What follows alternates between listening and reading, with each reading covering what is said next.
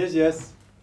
Welkom, dames en heren, jongens en meisjes. Welkom bij Klasse, de podcast die gaat over onderwijs en alles wat daarbij komt kijken. We zitten vandaag weer in de studio eh, met uh, Marie Moor. Mijn naam is uh, Ben Kremers en we hebben vandaag als gast Bas Kremer. Welkom Bas. Dankjewel. Fijn dat je er bent. Hey, uh, Morf seizoen 3? Ja. Ja? Ja. Aantal veranderingen in seizoen 3? Ja, muziek. Ja, we gaan uh, vragen aan de gasten, gaan we vragen welk nummer die we horen. En dan uh, gaan we dat er doorheen. We gaan af en toe ook quizjes spelen, hè Marv? Dat is jouw favoriete onderdeel? Ja, ik verlies al verlies vaak. Je verliest wel regelmatig inderdaad, ja. ja, maar dat maakt niet uit joh. Hey, uh, en we hebben Bas. En Bas is een Special Forces Operator en Human Performance Specialist. Bas weet ontzettend veel van mentale kracht. Hij inspireert je uh, om de helpende mens en uh, wereldbeeld te ontwikkelen. Dit zorgt er onder andere voor dat angsten, zorgen en onzekerheden tot het verleden behoren. Nou, de meeste mensen kennen hem, uh, die gozer met die baard, van Special Forces. Bas en een collega, die hebben nu zelfs een, een, leerplatform, Special Forces, tussen je oren opgericht. En hun missie is om de veerkracht van zoveel mogelijk mensen te vergroten. Nou, nogmaals welkom uh, Bas. Nogmaals, uh, dankjewel. Ja. Leuk dat je me hebt uitgenodigd. Ja, tof dat je er bent man. Ja, ja. vind ik ook. Zeker als het over het onderwijs gaat, dan denk ik, oké, okay, hoe kom je dan bij mij terecht? Ja, ja hoe, nou, met name om het mentale stukje. Aha. Ik denk dat dat uh, heel erg mist bij bepaalde leerlingen. En ja, hoe kunnen we dat nou bij leerlingen bijvoorbeeld vergroten? Ik denk dat dat een hele goede is. maar we hebben nog zoveel meer vragen voor je. Dus, maar voordat we gaan beginnen, wil ik even uh, een, uh, een, nooit meer ronde doen, Bas. Daar komt hij, ja. Uh, nooit meer Netflix of nooit meer YouTube? Netflix. Netflix. nooit meer zomer of nooit meer winter? Winter. Nooit meer films of nooit meer series? Series. Nooit meer pizza of nooit meer sushi? Sushi. Ik zie je twijfelen. uh, nooit meer gamen of nooit meer muziek luisteren? Gamen. Gamen. Nooit meer rennen of nooit meer lopen? Rennen. Nooit meer vakantie of nooit meer autorijden? Autorijden. Uh, nog twee. Nooit meer je verjaardag of nooit meer kerst? Verjaardag. En... wat dat betekent. Ik ben gewoon altijd dezelfde leeftijd, toch? Ik dacht ook nooit meer verjaardag. Ja, precies. En... Uh, Nooit meer zingen of nooit meer dansen? Zingen. Zingen. Je bent niet van het zingen. Nou, meer dan het dansen misschien wel. ja, weet ik niet. Ja. Ik weet ook niet hoe je dans moest zijn eigenlijk. Nou, heel lang geleden in ieder geval. Dat is heel lang geleden inderdaad, ja. Mm. Hey Bas, uh, nogmaals fijn dat je hier bent. Uh, als allereerste, we kennen je natuurlijk van, uh, van Special Forces VIPS. Op, op Videoland daar kennen we je natuurlijk van. Ja. Dat is een van de, van de mannen die daar de orders uitdeelt. en je hebt een baard. Ik ben nou nieuwsgierig, Waarom de baard? Nou, misschien is de vraag van waarom juist geen baard. Want hij groeit automatisch en je moet er echt wat voor doen om ja, hem af te halen. dat is waar. Maar je, je, je kiest ervoor om hem, uh, om hem zo te houden. Ja, ja, op een gegeven moment is dat... Uh, ja, het, is gegroeid van uh, op mijn zeventiende in het leger als scheren zonder dat ik überhaupt baardgroei had. Dat mm -hmm. ik gewoon wel elke keer alle puisten eraf schoor, maar dat er geen haar voor terugkwam. Tot het uh, bij het KST langzaam een beetje in de trend meegaan en een stoppenbaardje laten staan. Tot uh, full grow een uh, baard zoals die nu is. En hij is nog langer geweest en hij heeft verschillende afmetingen nu gehad. Maar ja, nu is het een beetje mijn, mijn, mijn, mijn, brand. Ja, nou ja, precies. Ja. Ja. En toen ik seizoen 1 meedeed met, als staflid van Special Forces VIPS, mm -hmm. toen werd ik nog met klem door de productie gezegd van maar die baard die laat je wel staan. Oh, niet, dat ik in, niet ja? dat ik in één keer kwam opdraven op de dag van de opname zonder baard, want dan uh, waren ze daar niet blij mee geweest. Ja, nou, het staat je goed, eerlijke zinnen. Heb je ook een alles, alles wat mijn gezicht bedekt, uh, staan met doorgaan. Heb je ook een snor gehad, zo'n krulsnor of dat niet? Nee, nee, dat, nee? dat niet. Nee. Nou, misschien is dat nog een optie. Ja, een beetje voor de kerst. Kerstballen inhangen. Nee, ik heb dat wel gehad. Ik heb ook zo'n lange baard gehad en inderdaad zo'n oh, ja? Echt? Ja, een snorrenpoets had je dan, kon je bij de barber halen. Oh, ja, ja, wow, ja. Maar wat, wat, wat heeft jou dan doen besluiten om het eraf te halen? Ja, het, het zag er niet uit. Nee? Nee, het zag er niet uit. Ik, uh, nee, het was uh, heel erg wild en uh, overal en nergens. Het, het kriebelde ook enorm, dat weet ik wel. Dat was echt... Ja, daar hoor ik wel meer mensen over. Daar heb ik echt geen last van. Je hebt er geen last van? Nee, absoluut niet. Nou ja, Nee. tof. Misschien een beetje een gekke vraag om, om mee te beginnen, maar breekt, het breekt het ijs Ik een wil beetje. zeggen, een beetje een ijsbreker. hè? Ja, ik wou al bijna vragen van, eh, maar, maar dit ziet er wel uit of eh, maar dat is misschien een beetje te vroeg. maar goed, ik heb hem nooit al gezegd. Ligt gevoelig bij je, grapjes maken. Ja, daarom, ja, daarom maak ik ze wel. Ja, nee, jij mag dat. En Marv heeft ook een soort van baard, hè? Weet je, zo'n mooi boy baardje hebt, Marv. Ja, ja, ik onderhoud hem gewoon Ja? lekker, hè, om de twee weken. Ja, precies. Maar jij Ja. laat geen Ah. eh, volle baard groeien. Nee, dat eh, heb, heb ik geen tijd voor. Om het, ik hou niet van die tussenfases. Dat heb ik al eerder verteld, toch? Ja. Ik, eh, want je komt in een fase dat je er even niks mee kan. En dat vind ik zo vervelend, jongen. Vooral als je voor de klas staat. Ja, precies. Dus ik moet Maar je hoeft, keer- er, je hoeft er ook niet echt iets mee. Nee. Nee, maar je kan hem ook niet... Ja, weet ik. Ah. Maar dan is het net niet mooi genoeg. Ja, Dat- de idol misschien. Nee, ik weet niet of ik te ijdel ben. Misschien wel. Ik denk wel dat ik te ijdel ben. Ja, Ja. Ja. Maar ja, maakt niet uit. Hey, eh, Special Forces VIP. Eh, hoe ben je daar terecht gekomen? Eh, nou ja, eigenlijk eh, via eh, Erik Wegenwijs. Mhm. Maar goed, in de eerste instantie natuurlijk, omdat ik zelf de achtergrond heb eh, van een Special Forces operator. Even voor de duidelijkheid, dat ben ik nu niet meer. Want anders had ik ook niet eh, mee kunnen doen aan het programma en ook niet hier kunnen zitten. Mm-mm. Maar ik heb zelf jarenlang bij de Special Forces gezeten. Nou, zowel in de ploegen als in de instructie. Als dat ik daarnaast ben gaan studeren en de hele mentale achterkant heb bestudeerd van hoe het is om mensen te vormen en eh, mensen te beïnvloeden en eh, die kant op. Eh, omdat ik altijd heel erg geïnteresseerd ben, in, ben geweest in de mens. En nog steeds heb ik dat op een gegeven moment dat spoor opgepakt. Naast dat ik operator was en instructeur was bij het Korps Commandotroepen. En in die hoedanigheid ben ik ook, is Erik eigenlijk eerst gevraagd om Mhm. dat programma te, te gaan maken. En die heeft gezegd, ja dat wil ik wel doen, maar dan alleen maar met, met Bas erbij. En eh, zo ben ik gevraagd en toen ben ik eh, vrij schoorvoetend eerst van eh, ja goed, wil ik dat wel, wil ik wel mijn kop op, de, op tv. Want dat betekent ook dat de weg terug richting, het, richting de Special Forces ook in één keer, die deur is dan dicht. Ja, precies. Dus dat kan niet meer. En ehm, eh, ja, goed, ik wil op de achtergrond wel een beetje meedenken met het programma. Want ik wist ook wel, als iemand anders het gaat maken, dan vind ik het toch niet goed. Ja. En toen zei Erik van ja, oké, dan ga dan.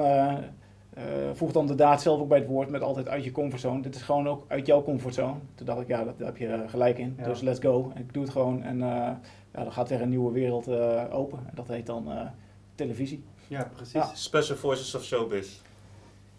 Eh, nou, Special Forces. Ja. Als dat nog steeds een, eh, een keuze... eh, ja, nee, de Special Forces. Ja. Ja, Maar nu ben je een soort van bekende Nederlander. ja en dat... je hebt eh, de missie net gezegd, hè? dus de, eh, onze missie is, of en mijn persoonlijke missie is ook om zoveel mogelijk mensen eh veerkrachtig te maken of in balans te brengen, zodat hun menselijke kwaliteiten gewoon het beste komen bovendrijven. Mhm.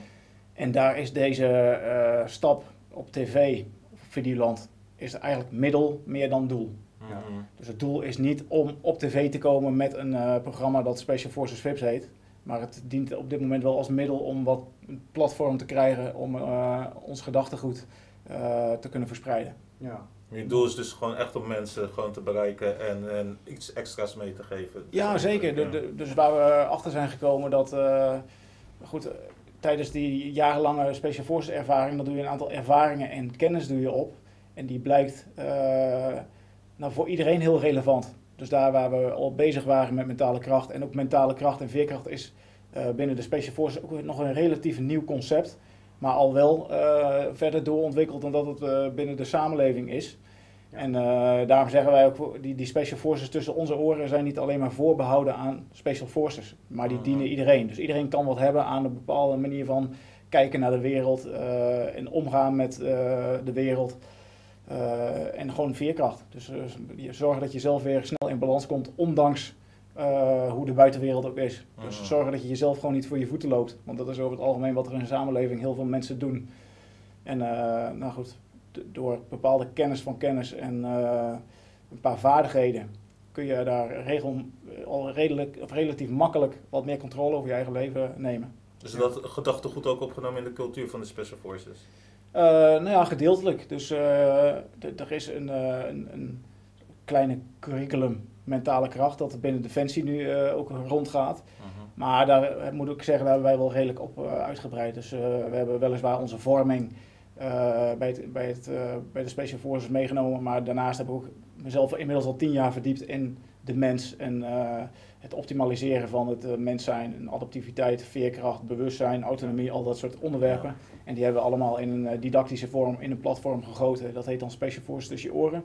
Eh, en dat gaan we ook binnenkort gaan we daar ja, de 2.0 versie van maken. En dat gaan we misschien ook anders noemen. En meer toegankelijk maken voor nog meer mensen en hopelijk ook goedkoper.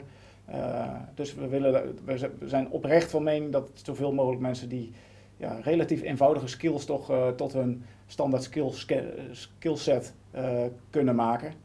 En eh, daar wil ik echt een bijdrage aan leveren. Ja, mooi. Ja, tof. Heel tof. En Ja. jij zegt een paar keer het woord veerkracht. Wat, hoe zou je veerkracht omschrijven? Wat is jouw definitie van veerkracht? Eh, nou, de definitie van veerkracht, ik zou zeggen, eh, veerkracht is eigenlijk het dynamische proces tot een adaptiviteit. En adaptiviteit is een, is een eigenschap die wij als mensen hebben. We zijn adaptief, eh, survival Mhm. of eh, the fittest. Eh, bedoel ik eigenlijk mee survival of those who fit best. Dus degene die eh, in, de evolutie het best, zich het best wisten aan te passen aan de geldende omstandigheden in plaats en tijd.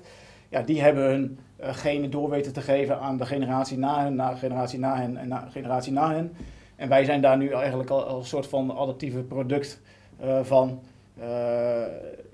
van die generaties. Ja. Dus veerkracht noemen ze ook wel eh, progressieboeken, ondanks tegenslagen, ondanks uitdagingen. Maar heel op biologisch niveau, wat gebeurt er eigenlijk precies? Dus eh, je bent een mens en die is in principe gewoon in balans. In homeostase noemen we dat ook wel. Misschien in het Ja. onderwijs is dat eh, wat, wat bekender.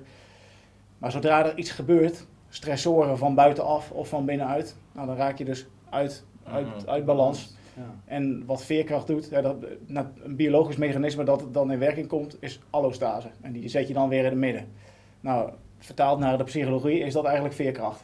Mhm. Het is eigenlijk alle effort die je doet om weer in balans te komen. En hoe hoger je veerkracht is, hoe groter je veerkracht, hoe sneller je jezelf weer in balans brengt en in staat bent om eh, over je menselijke kwaliteiten te beschikken. Want het- tegelijkertijd is het ook zo, als mensen heel gestrest zijn, komen ze dus ver uit balans. Ja. En dan zie je ook, hey, dan verliezen ze eigenlijk, als je dus goed nadenkt, dan verliezen ze eigenlijk hun menselijke kwaliteiten.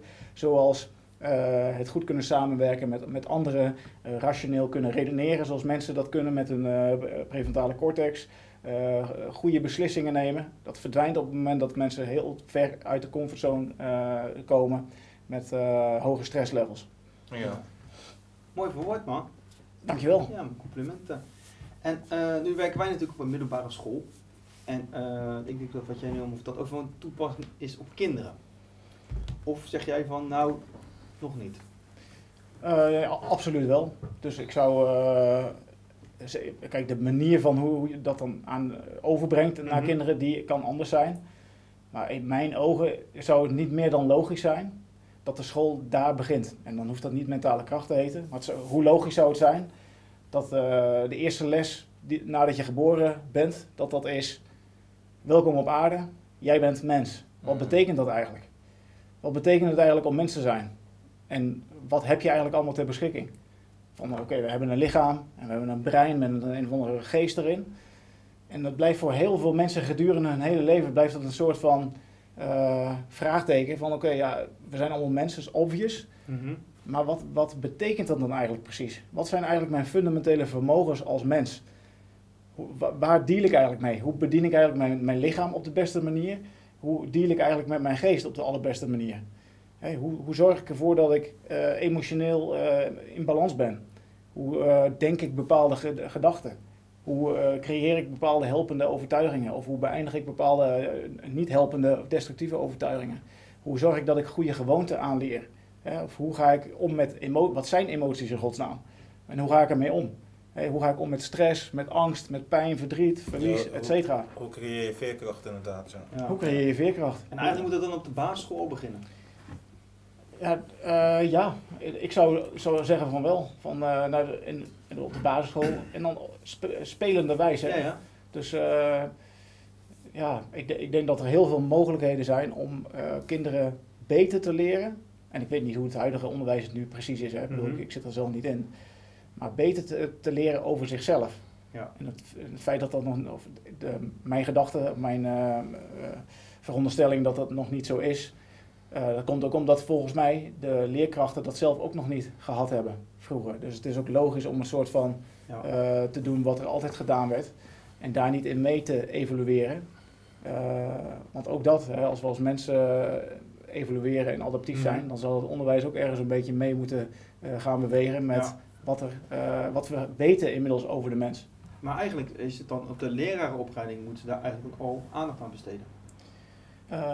Ja, ik, maar daarom, eh, de, de missie is ook niet voor niks veerkracht verspreiden over zoveel mogelijk mensen. Ja. Want eh, we hebben echt wel het idee dat, eh, dat dat echt ontbreekt. En dat zie je in de, in de, wat mij betreft in de gezondheid, gezondheidszorg terug. Ik, bedoel, Mhm. er zijn, ik weet niet hoeveel mensen die dagelijks in de survival modus rondlopen. Ja. Dus die omvallen met een burn-out of met stress of met allerlei psychologische, psychosomatische klachten. Waarvan ze eigenlijk niet weten wa- waar het precies vandaan komt. En dan wordt al heel snel gezegd, ja, je bent gestrest. Alsof stress een, soort van nieuwe boosdoener is die iedereen, eh, ondanks onze, alle onze gemakken en al onze eh, comfort dat we voor onszelf hebben opgebouwd, die, waar mensen dan toch nog van omvallen. Mhm. Terwijl stress, dat is er altijd al geweest. Alleen dat is een functie. Stress is gewoon een functie. Alleen de betekenis die we soms aan stress geven, maakt ook dat we er juist eh, aan onderdoor gaan. En dat we denken, oh, stress betekent dus, oh, rust nemen, op de bank liggen. Maar dat betekent niet dat al die gedachten die, eh, die stress allemaal aangejaagd hebben, daar ook gelijk mee stoppen. Want, Ja, meestal, want dat, het verschil, dat grote verschil hebben we met eh, veel dieren. Is dat eh, als, als dieren een, in een stressvolle situatie komen, die, die vluchten of vechten. En een uurtje later dan, eh, dan staan ze weer lekker in homeostase, lekker in balans ergens weer een, eh, een hap gras te nemen. Mhm. Terwijl mensen dan eh, nog steeds met hun gedachten bij die stresssituatie zijn en nog- steeds hun stresshormonen door hun lichaam laten gieren.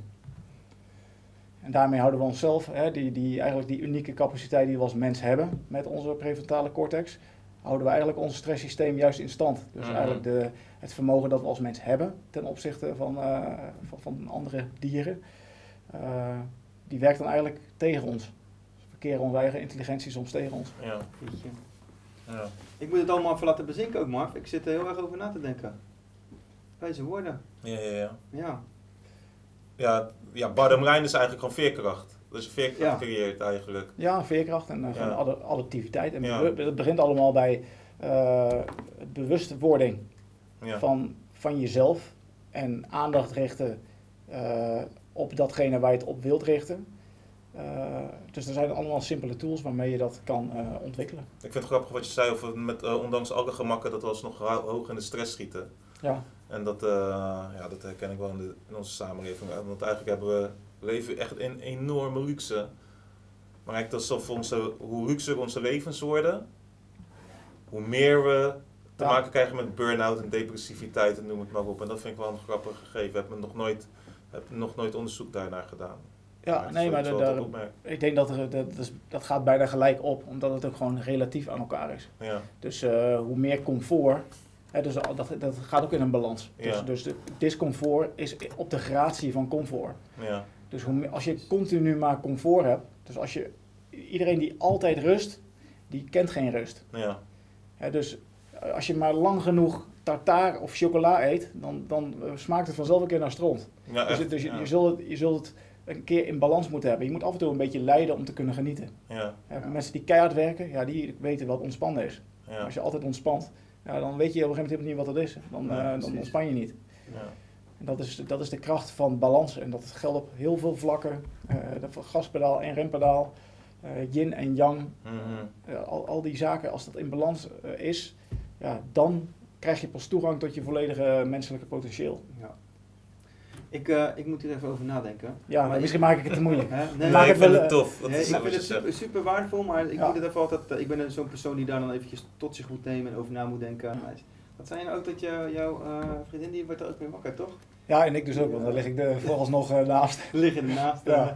Nee, ik word daar heel vaak mee wakker. Dus, eh, en Ja. ondanks dat eh, hou ik nog steeds heel erg van dat nummer. Ja. En zelf een beetje gitaar eh, priegelen. En dan doe je dat gewoon Ja. zelf of in een bandje? Of in Nee, een, zelf. zelf. gewoon zelf. Ja. Nee, gewoon eh, met, op eh, YouTube tegenwoordig kun je alles eh, op YouTube leren. Dus eh, wat dat betreft eh, kan ik wel... eh, Je bent je eigen docent. ben mijn eigen docent. Ja. Auto- Autodidact een beetje. Ja. Ja. Hey, eh, ik heb even na kunnen denken in de tussentijd. En eh, veerkracht, eh, nou, het komt regelmatig voor. Maar hoe zouden wij, wij werken op een middelbare school, eh Marv en ik, hoe zouden wij dat eh, Moet je, daar, moet je daar een vak van maken? Of hoe zouden we tijdens, de- tijdens de lessen dat soort dingetjes toe kunnen passen? Of daarover kunnen bespreekbaar maken? Eh, nou goed, ik, ik denk dat je in de eerste instantie al kan, eens kan nadenken over het buitenwereld en binnenwereldprincipe. Dus als je. We kunnen grofweg de, de wereld indelen in de wereld waarin we eigenlijk. of die er al bestond voordat wij eh, erbij kwamen. Ja, de buitenwereld met alles wat er omheen is. En de wereld die pas begon te ontstaan toen jij eh, zelf, en wij zelf onze ogen opendeden. Oftewel je subjectieve, je sub- het, het subjectieve beeld dat je van de wereld hebt. Ja. En dat voortkomt uit je eigen binnenwereld. Om dat onderscheid heel erg te maken. En ik denk dat als je naar het onderwijs nu kijkt, dat eh, het onderwijs vooral gericht is om te overleven, om te overleven in de buitenwereld. Dus waar we, waar ooit een, misschien maak ik het nu heel, heel filosofisch, ideologisch, conceptueel, maar dat, dat is niet mijn bedoeling. Maar er is ooit een vliegtuig take-off gegaan, wat zeg maar de welvaart van de maatschappij heet. Ja. En die gaat nooit meer landen. Maar volgens mij willen we wel dat elk kind wordt op, zodanig wordt opgeleid om in dat vliegtuig te kunnen functioneren. En een plek in te nemen in de maatschappij eh, waarin ze kunnen bijdragen aan die welvaart. Maar dat is wel allemaal die buitenwereld. En ik denk dat mensen, eh, of denk, ik geloof heel sterk en Mhm. weet eigenlijk ook, dat mensen veel, eh, dat er veel meer waarde uit de vingers van mensen komt wanneer ze juist worden opgeleid om hun binnenwereld te verbeteren. Dus in plaats van steeds meer acties te doen om de, om de, om de maatschappij en de welvaart beter te, te maken, Ja. sta ik voor om steeds bewuster te worden van je binnenwereld en je binnenwereld en je, je resources in je binnenwereld te vergroten, zodat je vanuit die, dat maximale potentieel wat al lang ergens in je verborgen zit, daarna de buitenwereld wel komt versterken. Maar dat eerste, dat slaan we een beetje over, eh, voor mijn gevoel. En alleen al even dat onderscheid maken van, hey, we zijn eigenlijk al alleen maar bezig om bij te dragen aan de welvaart, aan de, aan de maatschappij, aan de buitenwereld, aan het vliegtuig waar ik zojuist over had. Ja. En die andere kant dan? En hoe kunnen we daar nou eens invulling aan geven?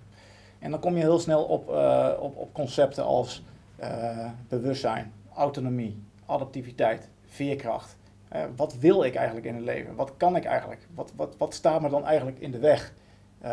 Is dat de buitenwereld die in de weg staat? Of als ik even twee vragen doorvraag, is het eigenlijk mijn binnenwereld die in de weg staat?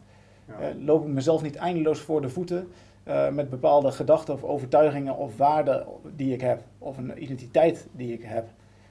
En, en om daar de nadruk op te leggen, daarmee, want ik bedoel, alle persoonlijke ontwikkelingscursussen die eh, als, als, als eh, gras uit de grond komt, komen, ja, dat gaat allemaal daarover. Ja. Hè, De ene op een betere of op een sterkere manier dan de andere. En dat is ook voor iedereen verschillend. Sommige dingen werken voor de ene wel en voor de andere niet. Maar er is eh, een hele shitload aan kennis. eh, en dat is allemaal niet, dat is allemaal niet wollig. Er is heel veel eh, psychologie, neurobiologie, sociologie. Die dit allemaal al lang weet en ook al in bepaalde eh, behapbare brokken heeft ge- ge- klaargezet om gedoseerd te worden. En hoe het, met, hoe het precies pedagogisch gezien per leeftijdsgroep, per kind het beste kan worden overgedragen. Nou, daar zou ik nog best wel eens over mee willen helpen om daarover na te denken. Maar ik denk dat er, eh, er bestaat in ieder geval meer kennis over dat domein wat ik dan even binnenwereld noem, Ja. dan dat op dit moment wordt, eh, eh, ja, wordt, wordt gedoseerd. Mhm. Want anders had ik ook niet hoeven bestaan om dat nu extra aandacht te geven. Ja, precies. Ja, want wat mij opvalt bij de huidige generatie die wij nu lesgeven, is dat dus, eh, ja, vaak negatief, eh, negatief eh, zelfbeeld komt ook regelmatig voor. Ja, ik snap het toch niet, dus laat maar gaan joh. Of, nee, dit vind ik niet leuk, dit staat niet bij me of zo. Dat, dat, Mhm. dat, dat overheerst bij best wel wat leerlingen, zeg maar. Zeg ik dat goed, Marv? Ja, dat komt wel ergens vandaan. hè. Ja, Ja. ja, natuurlijk komt dat ergens vandaan. Maar dat valt me wel op dat dat, als ik het dan ver- vergelijk toen ik eh 20, 25 jaar geleden op de, op de middelbare school zat, ja, vind ik wel een verschil daartussen. Dus dat merk ik nu, dat heel veel kinderen, en ik weet niet of dat dan met social media te maken heeft, hè, dat iedereen natuurlijk helemaal fit boy, fit girl moet zijn of wat dan ook. Dat valt me wel op, zeg maar, dat ze dat mentale stukje, ja, zichzelf ook heel negatief neerzetten. Eh, goed, dat moet je je voorstellen dat eh, dat je niet meer de straten op hoeft. Of dat je nergens meer naartoe hoeft. Omdat je eigenlijk heel de wereld al kan verkennen via je smartphone. Ja. Van waarom zou je? Als je, alles, als je heel je sociale wereld kan inrichten op je telefoon. Mhm. En daar eh, vervolgens eigenlijk nog hele eh, verslavende triggers aan zitten. Ja. Die ook nog maken dat je helemaal geen zin meer hebt om daar eh, vanaf te komen.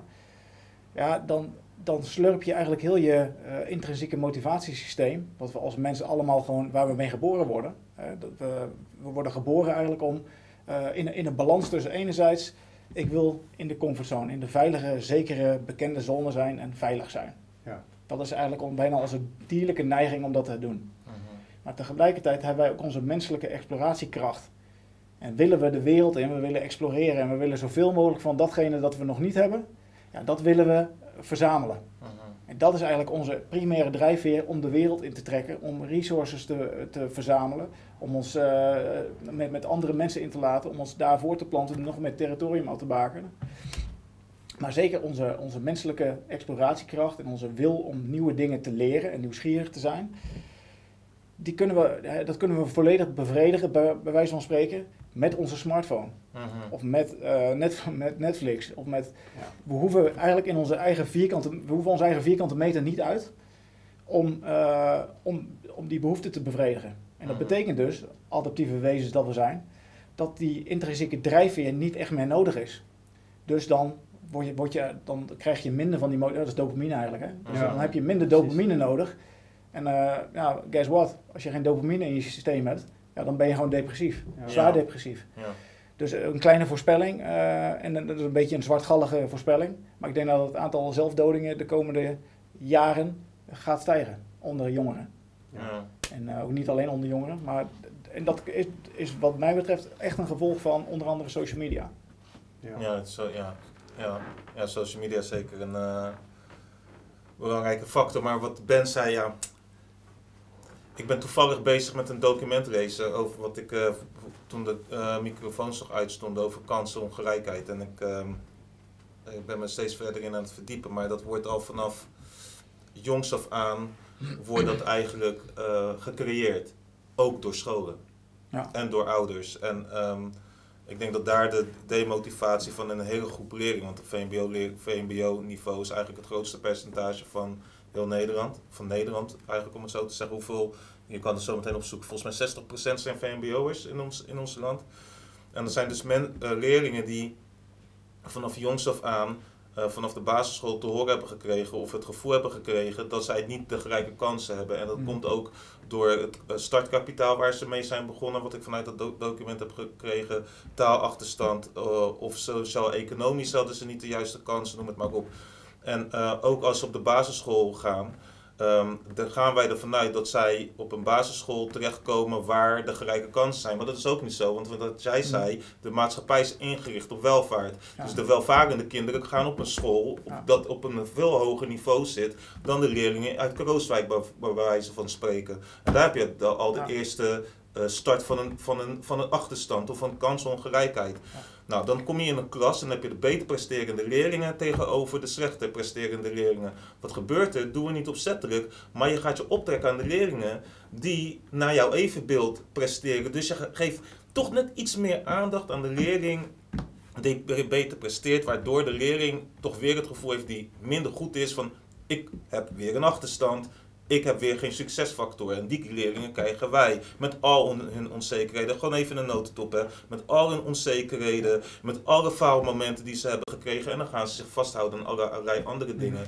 overkomen, inderdaad social media, noem het maar op, omdat ze dat bepaalde ehm, die bepaalde succesfactoren niet vanaf jongs af aan hebben meegekregen. Even een notendop hoor, het is Ja, even... dit maar is ik, ik, voel wel de, helemaal ik voel wel correct. de frustratie die er een beetje in doorklinkt. Ja. Dat klopt, eh, klopt Ja. wel. Ja.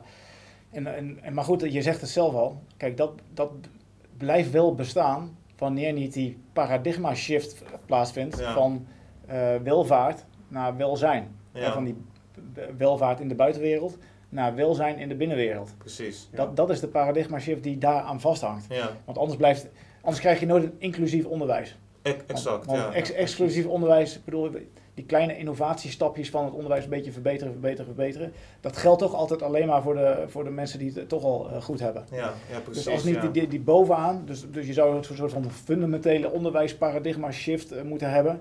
Waarin dit erkend wordt van eh, wat, ieder, wat iedereen eigenlijk al lang weet. Hè? Mhm. Iedereen weet, oké, welvaart dat is allemaal onderdeel van de buitenwereld. En hoe meer welvaart, hè, dus we zijn de afgelopen jaren, we, zijn, we hebben het nog nooit zo comfortabel en we hebben het nog nooit zo gemakkelijk gehad. Maar toch loopt iedereen overal over te janken. Dus Mhm. qua welzijn zijn we geen reet opgeschoven. Nee. Nee. Dus misschien moeten we een keer toch besluiten, wat iedereen al lang weet. Ja, welzijn, dat, dat ervaar je alleen maar van binnen. Mhm, En iedereen is wat dat betreft ook verantwoordelijk voor zijn eigen welzijn. mhm, En zonder welvaart bestaat er ook wel welzijn. Alleen eh, zonder welzijn gaat er helemaal, dan gaat die welvaart op een gegeven moment ook wel stoppen. Ja, ja.